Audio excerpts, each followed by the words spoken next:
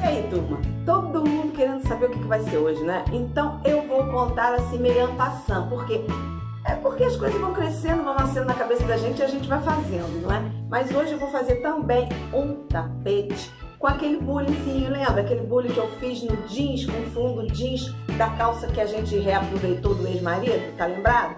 Então, esse agora eu vou fazer também o bule, a xícara, só que vai ter umas outras coisinhas a mais. Vai ter uma borda, vai ter uma coisa assim diferente daquele que eu fiz. Aquele foi bem simplesinho, assim, papo de bucos. Esse não, esse é mais incrementado. Quer ver como é que vai ser? Quer? Então, bom dia para quem é dia, boa tarde para quem é da tarde e muito boa noite para quem é da noite. Ateliê Cláudio vai lá se apresentando para mais um passo a passo. Vou usar esse marrom aqui de poá. É assim que eu faço, gente, ó. Fecha um pouco pra lá, fecha um pouco pra cá. De repente, eu vou colocar um barrado. É, posso colocar um barrado também. Faço ela menor. Faço ela menor, bem mais estreita e coloco aqui em volta um barrado. Tá entendendo? Tá entendendo? Tá, né?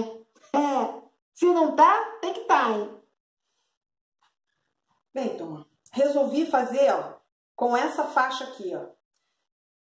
Cortei aqui com 60, deixa eu ver, não, 59 de comprimento por 33 de largura. Agora eu vou colocar as faixas. Essa faixa tem 7 centímetros de largura. Vou colocar primeiro as faixas daqui, para depois colocar as faixas daqui. Não vou fazer nada difícil, gente. Não vou fazer canto mitrado, não vou fazer nada. Vou fazer vapt-vupt, tá bom? Então vamos lá. Cortei a faixa do tamanho do tecido que eu tenho. Ó, direito com direito do tecido. Vou deixar faltar aqui, ó, sobrar, faltar não, sobrar um pedaço para lá e um e costurar até aqui. Não vou cortar aqui, gente, porque se eu cortar aqui agora, pode ser que eu desperdice tecido. Então, eu só vou cortar quando eu for é, tirar o, o pedaço que sobrou aqui, tá? Então, ó, direito com direito, você vai colocar um pé de máquina Um pé de máquina é daqui, gente, ó. Onde bate a agulha até essa lateral aqui, tá? Então, você vai colocar aqui, ó, beirando o tecido e vai passar a máquina aqui no ponto reto. Isso é um pé de máquina, tá bom? Vou fazer esse lado e fazer o outro e mostro para vocês como é que se deve cortar. Bem, turma, Abrir a costura. Abrir a costura significa passar com ela aberta, tá? Bati de um lado e bati do outro. Agora eu vou cortar, ó. Usando essa reta aqui, né, do tecido, eu vou cortar aqui em cima. Faço a reta aqui e corto aqui.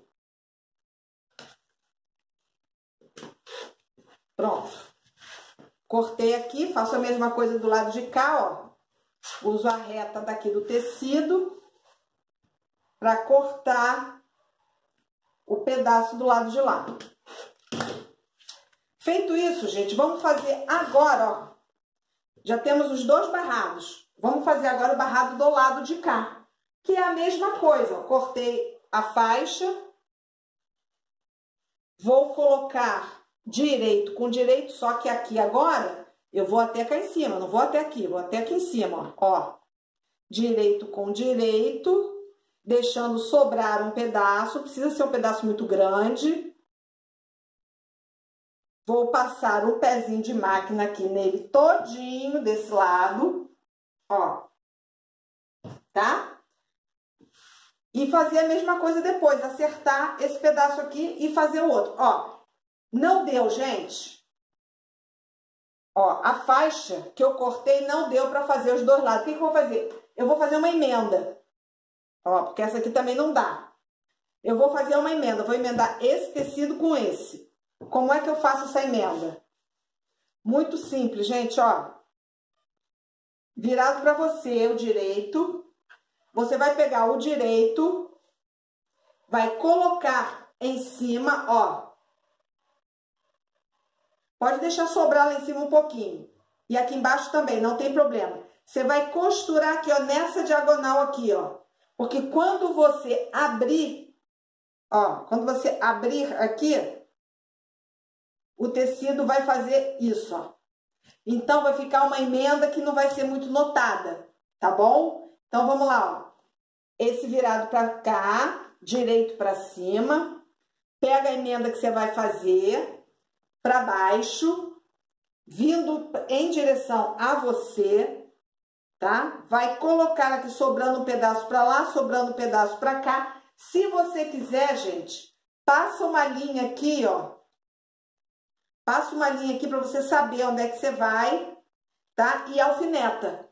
Se vocês acharem difícil fazer isso sem empreender em nada, tá? Então, você passa a linha aqui, ó, beirando aqui o tecido e terminando aqui no tecido, ó.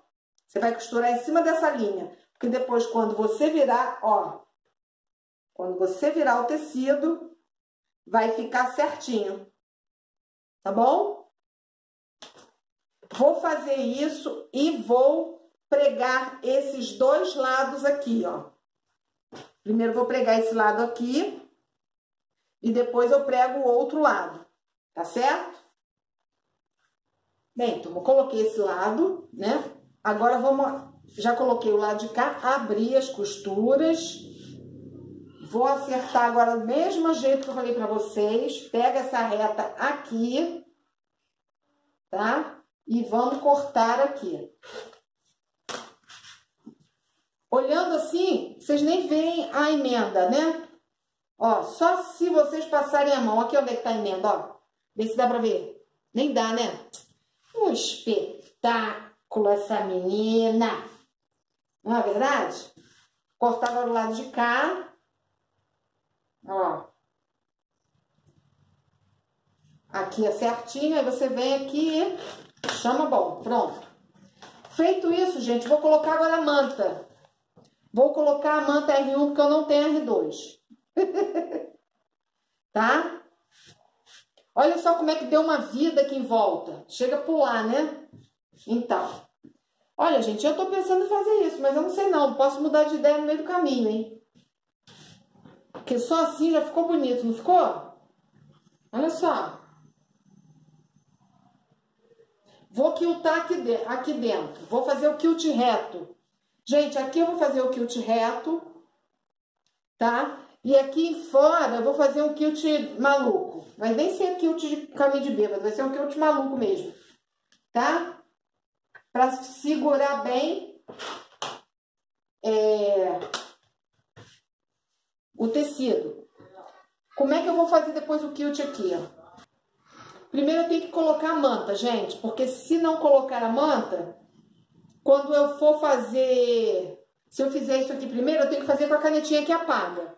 Se eu fizer com a canetinha que apaga e depois for colocar a manta, o ferro vai apagar a caneta. Então, eu não posso fazer é, o quilt aqui, a marcação do quilt, sem antes colocar a manta. Seu trabalho e vai cortar. Gente, não corte a manta com a sua tesoura de cortar tecido. Tenha uma tesoura específica para fazer essas merdalhadas toda, tá? Senão você vai cegar a sua tesoura. Ó, a minha, toda, toda chumbrega. Então, corta a manta um pouco maior porque o tecido não está esticado. Ó. Então, a gente corta sempre um pouco maior. Quando formos passar o ferro, ele vai se esticar todo aqui em cima da manta. Turma, não deixe de compartilhar, se inscrever, dar like, tocar o sininho para ativar as notificações e vocês ficarem sabendo tudo que eu posto e quando que eu posto. Tá?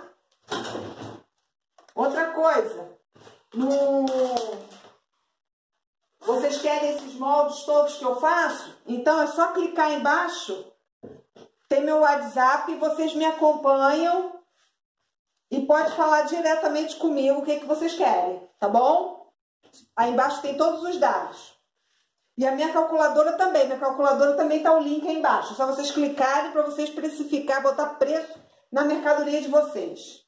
Vou passar o ferro aqui e já volto. Ah, vou simular aqui para vocês. Gente, olha. Manta R1 é fofinho de um lado e áspero do outro. Coloca o lado do avesso em cima do lado áspero. Você vai pegar o ferro. Ó, vou simular aqui. Você vai pegar o ferro, vai colocar em cima, contar de 1 até 10 e andar. Você conta de 1 até 10 e anda. Conta de 1 até 10 e anda. É assim que você coloca a manta no tecido. Não é assim, gente. Se vocês fizerem assim, a cola não sai. Tá? Vocês não estão passeando no parque que não, hein? Ah, ó. Colocou, contou até 10, anda um pouquinho. Esse ferro tava um pouquinho quente, ó. Pra vocês verem como é que já fixa, ó. Tá vendo? Ó. Viu? Só pelo fato de estar tá um pouquinho de nada morno, ele já soltou a cola, ó que a gente tem que deixar. Ó. Não tô abaixo dele não, porque ele tá frio mesmo. então, vou fazer isso e já volto. Bem, turma, já colei a manta. Vou fazer agora as diagonais. A minha régua não dá, tá vendo? Então, eu vou emendar com uma outra régua. Na quina de lá com a quina de cá.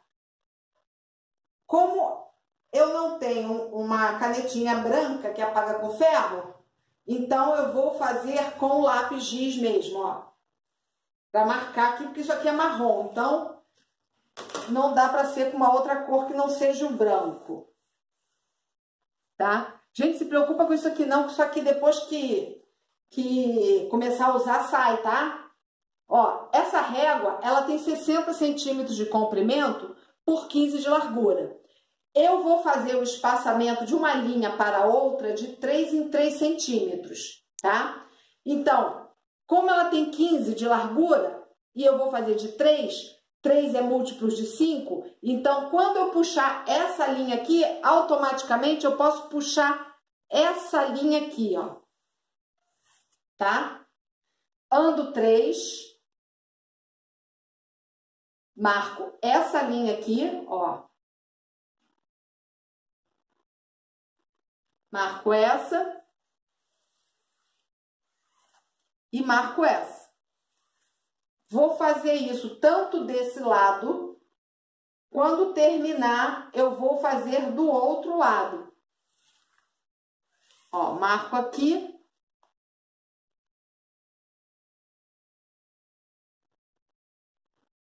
E marco aqui. Tá? Aí, ó. Depois que eu fizer todo esse lado, eu vou inverter e vou fazer desse lado aqui. Aí vai ficar aqueles quadradinhos parecendo um biscoitinho. O que, que você vai fazer depois que você fez isso? Você vai passar a máquina, começando aqui, ó, nesses dois meios, nesse aqui e nesse aqui. Coloca uns alfinetes aqui, porque isso está só com a cola. Então, conforme você vai manuseando isso na máquina, ela vai soltando. Então, você alfineta aqui nas laterais para você não correr esse risco, tá? Você vai passar a máquina aqui, ó, no... é ponto reto, gente, não tem nada mais para fazer aqui, é ponto reto, ó, de lá para cá. Se você quiser, não precisa fazer só o meio, vocês podem puxar as linhas para cá, ó, e continuar. Tá? No meu caso aqui, eu teria que ter uma outra caneta, porque essa aqui não vai aparecer. Ó. Porque o fundo é bege. Tá? Você pode puxar direto, não precisa parar aqui. Vou fazer assim, para mostrar para vocês como é que vai ficar bacana também, ó. Vou puxar as linhas todas até o final, ó. E nós vamos quiltar de lá até o final aqui. Aí, quando formos fazer, vamos fazer a mesma coisa. Vamos pegar aqui do meio né? Emparelhar aqui, ó. E fazer a mesma coisa. Só que o que acontece? Esse final aqui não vai ser igual a esse final aqui. Não tem problema, gente. Desde que esse meio aqui fique igual, não tem problema, ó, porque ó, vai pegar aqui em vez de pegar aqui, tá? São ângulos diferentes, tá? Por isso que às vezes eu faço só aqui dentro e aqui fora eu faço um caminho de bêbado. Mas eu vou fazer dessa vez direto para vocês verem também que fica bacana. Então, eu vou fazer todas essas linhas aqui. Vou para a máquina. E vou quiltar isso aqui todinho. Vou mostrar para vocês só quando eu já tiver terminado de quiltar isso aqui. Porque eu não tenho nada aqui para fazer, gente. Para mostrar para vocês. Isso aqui é botar na máquina e seguir Bem, em cima da linha. Já fiz o quilt, ó. Fica igual um biscoitinho. Tá vendo? indo até o final. Tá tudo preso. Vou cortar um pouco desse excesso de manta aqui, simplesmente por cortar, porque depois, quando colocar o forro, que a gente vai acertar tudo isso aqui. Agora eu vou fazer uma montagem aqui. Quando estiver pronto, eu mostro pra vocês o que, que eu decidi. tá? O que eu fiz com esse bule aqui e essa xícara no outro trabalho, que foi em cima do jeans usado, uma calça usada, quem quiser ver esse passo a passo, tem aí na tela final ou em cima aqui nos meus cards, tá? Que eu fiz o fundo de tecido jeans de uma calça velha. Esse aqui não, esse aqui já tô fazendo uma coisa mais chique, vamos botar assim, tá? Tecido tricoline com uma borda, o outro não teve borda, esse teve uma borda, né? Acrescentando um cupcake né? Um bolinho pro café. E vou pensar se eu vou fazer esse pássaro aqui. Eu não sei, acho que vai ficar muito cheio. Tá? Vou decidir se eu vou colocar esse passarinho aqui. Que o passarinho tá doido para dar uma picadinha no cupcake. Tá bom? Já coloquei o papel termocolante aonde era para colocar. Esse cupcake aqui, gente, eu já comprei assim. Ele já está com filme termocolante, olha. Tá vendo? Ele já está. Então, o que, que a gente tem que fazer? É simplesmente colocar o papel. Atrás disso aqui vem um plástico. Plástico não, um papel que você vai ter que colocar em cima. Ó, você vai colocar em cima e vai deixar um pouquinho ferro. Não é muito não, gente, tá? Você vai botar, porque aí a cola daqui vai soltar e aderir aqui. Não solta, porque isso é filme termocolante. Quem não sabe o que é filme termocolante, também tem um vídeo meu ensinando como usar o filme e o papel termocolante. Vou colocar essas partes aqui. Como é que eu tiro esse papel? Gente, essas partes aqui que eu coloquei, que é apenas para dar um tchan, ó, um diferencial, eu vou colocar com cola, tá? Porque o lugar dela é esse, não tem como, como tirar, então vou colocar com cola. Para tirar o papel termocolante, você precisa de algo pontiagudo, ó para você fazer um corte, tá? E puxar o papel sem tirar, sem tirar a película, ó. Tá? Então, vou colocar tudo isso aqui. Gente, isso aqui é olhômetro, com mexômetro, com qualquer ômetro que você quiser, tá? Bem, aqui você pode, ó, pegar o bule, colocar reto, ou você pode dar uma inclinada, tá? Como se estivesse derramando o café aqui. Aí é tudo da sua cabeça, gente, tá? Não tem um padrão não, ok? Então eu vou colar tudo isso aqui. Gente, não vou mostrar para vocês o passo a passo de colar isso aqui, que esse vídeo vai ficar muito longo, tá bom? Então eu vou dar uma colada aqui. Quando tiver tudo coladinho, eu vou explicar como é que coloca essa peça aqui. Já coloquei, ó, tá? Vou fazer esse aqui primeiro. Gente, vocês podem fazer pontinho caseado à mão. Vocês podem fazer um ponto de zigue-zague aqui em volta. Vocês podem fazer vários pontos. Não necessariamente fazer o ponto que eu faço, porque às vezes a máquina de vocês não tem, tá? Aqui em volta eu vou passar o preto, ó. E aqui eu vou passar esse laranja, tá? Pronto, turma, ó. Passei, tá? O pontinho, já fiz. Agora, vou colocar aqui a xícara e o cupcake, tá? Gente, já coloquei a xícara, agora eu vou colocar a alça, olha, a alça eu vou fazer assim, ó. Vou desenhar ela aqui, mais ou menos aqui, ó. Canetinha que apaga. Ó. Ó, já fiz aqui, ó, tá vendo? Isso aqui é só para eu ter uma noção aonde o ponto vai, ó. Tá? O ponto vai aqui no meio, ó. Vou fazer um ponto aqui no meio. E aqui vou fazer em volta. Com esse pedacinho aqui, ó, eu faço a fumacinha, ó. Coloco aqui, desenho a barriguinha pra cá, puxo pra cá e desenho outra barriguinha. Pronto, já fiz a fumacinha. Tá certo? Agora vou passar isso tudo aqui na máquina para depois colocar o cupcake. O que eu tô pensando é isso, achei isso aqui muito pelado, então tô pensando em colocar essas três flores aqui. Uma flor aqui, deveria ser a menor, né? Mas não tem o menor. Vai ter que seressazinha aí, para combinar aqui. Agora, esse cupcake aqui, eu tô na dúvida. Porque eu também deixei muito espaço para lá, eu tenho que colocar alguma coisa para lá, ó. Não posso deixar só assim. Eu tenho que colocar alguma coisa aqui. Bem, turma, resolvi colocar essas três aqui. Tô pensando se eu vou colocar uma aqui. E aqui nesse canto eu vou fazer esse frufru aqui, ó. Vou fazer uma composição com umas flores aqui. Como se elas estivessem aqui no cantinho da mesa. Quer dizer, do meu tapete. Olha só, o tapete é meu e eu boto as flores que eu quiser, tá bom? Aqui eu vou ver se eu boto a borboleta ou se eu não boto. Vai ser surpresa. Teoricamente vai ficar assim. Ó. Tá? Vamos ver como é que vai ficar isso. Decidi mesmo, ó. Coloquei as flores aqui. Essas flores aqui eu costurei.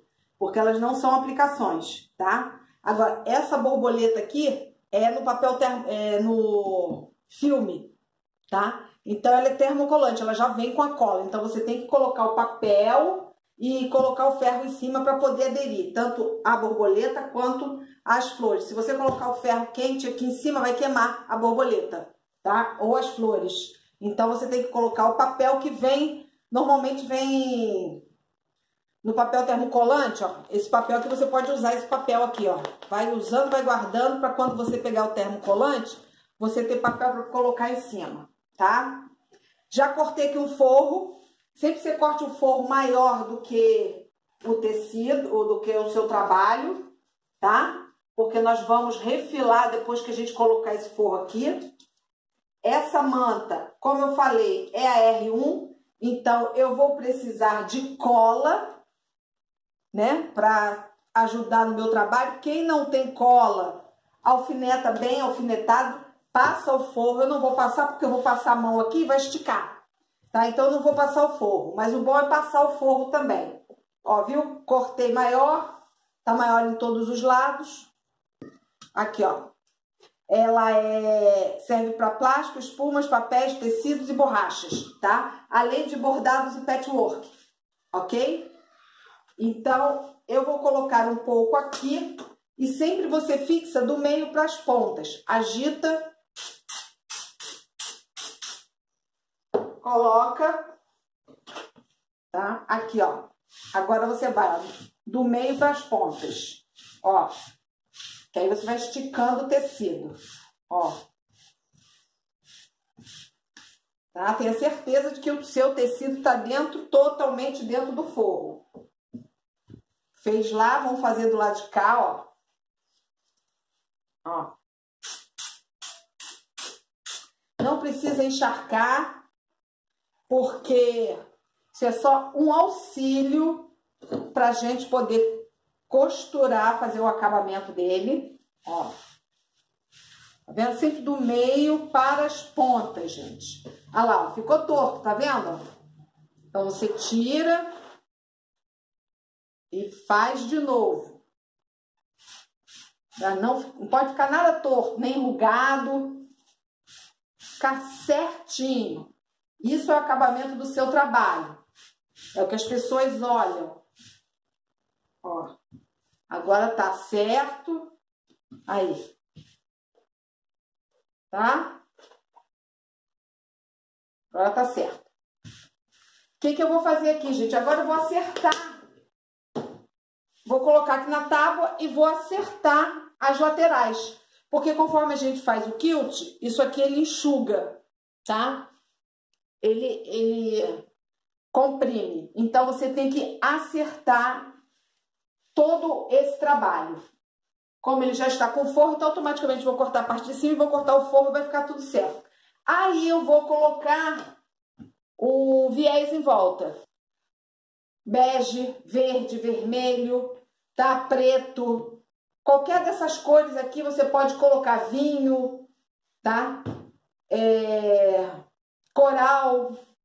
Aí vai de acordo com a sua vontade. Quem não sabe colocar viés, gente, dá uma olhadinha em cima nos cards ou no final do vídeo que tem o passo a passo de como colocar viés, tá bom? Dobrei ele todo ao meio, tá? Dobrei um bom pedaço. Comecei a colocar encaixando ele, ó, tá encaixando, tá? Agora aqui nós vamos fazer o canto mitrado. Como é que faz o canto mitrado? Ele não tá vindo pra cá, gente? Ó, você vai ter que virar ele pro lado de lá. Porque tem que continuar pra cá, não tem? Então, o que, que você vai fazer, ó? Você vai segurar aqui, vai abrir e vai fazer essa quina aqui, ó. Tá vendo? Ó, pronto. Virou pro lado de cá. Bota um alfinete, se não tiver os pregadores. E vai continuando. Tá vendo? Turma, não deixe de se inscrever, compartilhar, dar like, tá? Me acompanhar no Instagram, arroba Velasco. E não deixe de comprar meus moldes. A minha calculadora, vocês estão ligando para mim para perguntar que preço que eu daria. Gente, tem uma calculadora que dá o preço para vocês. Então vocês acabei de quebrar um grão. Então vocês têm que aprender a dar preço nas suas mercadorias, em vez de ficar ligando para mim. Cláudio, quanto é que eu boto preço nisso? Quanto é que você me colocou? Meu preço é diferente do de vocês, gente. Tá? O link da calculadora tá embaixo. Ó, fiz de novo, ó. Tava indo pra lá, não tava? Aqui, ó. Tô indo pra lá, não tô? Boto a mão aqui, ó, bem na beirada e puxo pra cá. Vai fazer esse triângulozinho aqui, ó. Pronto. Fez o canto mitrado. E continua fazendo. E pregando. Então, vocês já sabem. Acesse o link aí embaixo para minha calculadora. Vocês vão ver que vai facilitar a vida de vocês. Tá? E se quiserem molde também é só acessar embaixo, vai, você vai falar comigo. Tem meu telefone aí para vocês falarem. Gente, eu não tenho assessor não, tá? Sou eu que faço tudo. Eu sou igual a mulher bombril, mil e uma utilidade. Como eu, tem várias aí também fazendo a mesma coisa que eu. Não tem ninguém para te ajudar, não. Sou eu para tudo. Ó, fui para lá, não fui? Seguro, ó, seguro, bem na beirinha, abro, viro para cá, ó. E agora faço a marcação e coloco um grão. E continuo. Tá? Tô mostrando para vocês, gente, que eu vou mostrar como é que finaliza isso aqui, o acabamento, para ficar um acabamento bonito, não ficar uma coisa feia. Ó. Isso aqui que é o canto mitrado, que todo mundo tem medo desse canto mitrado. Tem nada a ver. O povo adora botar medo no canto mitrado, ó. ó foi para lá, segurou, voltou e pronto.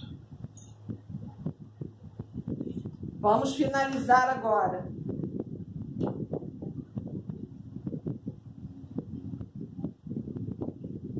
Como é que finaliza aqui, gente? Olha. Você vai transpassar um para cima do outro aqui. Vai cortar. Vai virar pro lado de dentro os dois, ó. Ó, os dois pro lado de dentro. Ele tem que ficar retinho. Tô levantando aqui, mas não é para levantar não, tá? Tem que ficar assim, ó, retinho. Você vai aqui, você vai pegar um alfinete e vai colocar aonde você vai costurar. Ó, aqui, ó. Você vai passar agora uma costura aonde está o alfinete, ó. Passou essa costura, veio aqui, corta o excesso e já vamos finalizar. Pronto, gente, ó. Passei a costura. Agora, o que, que eu faço aqui? Corto. Tá? Vou dar um, um cortezinho aqui na diagonal, aqui, só para essas perninhas não aparecerem. Abro essa costura.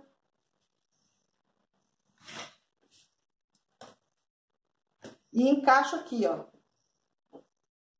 Pronto.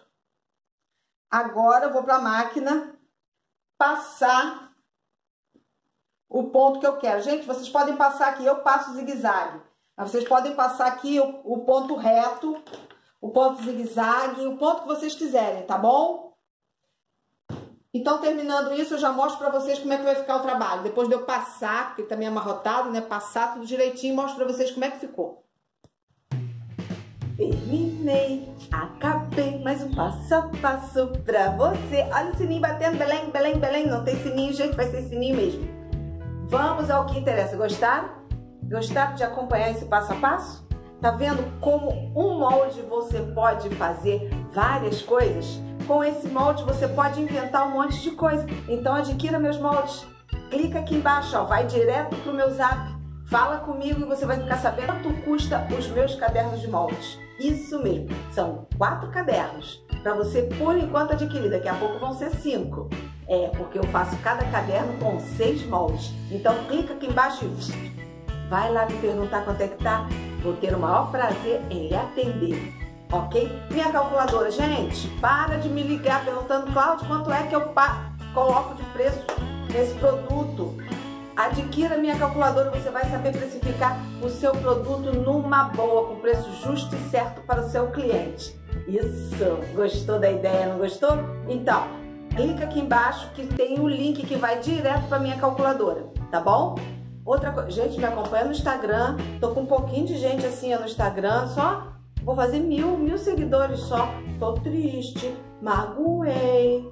Vamos lá, arroba Ateliê Cláudia Velasco. Me segue lá, dá um pulinho lá no Instagram, tá bom? Quem quiser saber todos os produtos que eu já tenho, gente, é só entrar no meu Face, Ateliê Cláudia Velasco. Lá tem tudo que eu já fiz até hoje, tá bom? Se vocês quiserem também comprar, é só entrar aqui embaixo e entrar em contato comigo. Mando para todo lugar do Brasil, tá bom? Agora eu vou mandar uns beijinhos bem rapidinhos, tá? Olha só, vamos lá. A Simone Gaspar, aqui de Itaboraí, minha vizinha aqui, ó a Neuza Oliveira, da Bahia. Beijos, Neuza. A Maria de Lourdes, de Jaboticabal, São Paulo, tá? A Valdirene, Ituberá, Bahia. Nossa! A Quitéria de Campos, a Mônica Cristina de Campo Grande, aqui no Rio de Janeiro. Tem um monte de gente aqui do Rio. A Rosemary de São João, é, Boa Vista, São Paulo. Gente, vai ficando por aqui. Essas são as pessoas que, por enquanto, estão mandando beijinho, porque vocês estão mais interessados em saber como é que terminou o produto, não é? Ninguém está querendo saber de beijinhos nem de propaganda. Então vamos ao que interessa, porque tá boa beça. Olha só o meu trabalho, como é que ficou. Olha, gente, gostaram da minha borda? Olha meu bule minha xícara. Totalmente, trabalho totalmente diferente do de jeans, apesar de ser o mesmo desenho, tá vendo? Coloquei uma moldura que sobressaiu em cima do marrom, né? Coloquei uma cor mais vibrante, tá vendo? Ó, gostaram? Ó, a parte de trás, ó, passei um zigue-zague aqui para colocar o viés. E é isso, gente. Vou ficando por aqui. Um beijo lindo no coração de todos vocês. Eu fui, mas eu volto.